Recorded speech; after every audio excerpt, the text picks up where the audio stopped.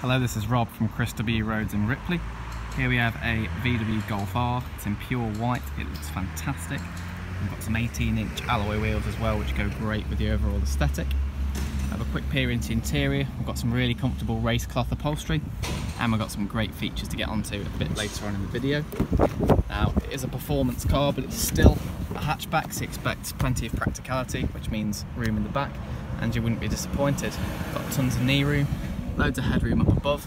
Seat in front is in my driving position and I'm about 5 foot 10 so it's good to know that you can fit adults in the back in plenty of comfort. If we just come around to the back to have a look at the boot space, got a good sized boot, the floor is pretty level with the back of the car so it's easy to slide in heavy objects as well.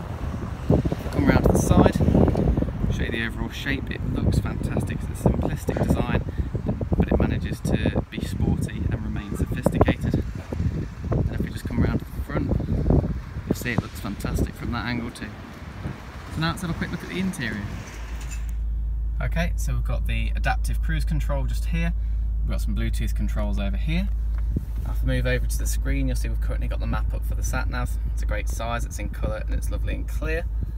Got this app option over here, so if you connect your uh, smartphone via USB, you've got Android Auto, Apple CarPlay and MirrorLink just there.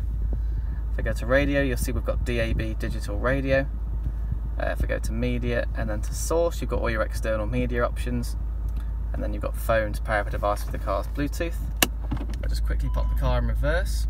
We get a reversing camera and also front and rear parking sensors that appear on screen to make your life a bit easier when you're parking up. Got the dual zone climate control just here, so both sides can be adjusted independently from one another.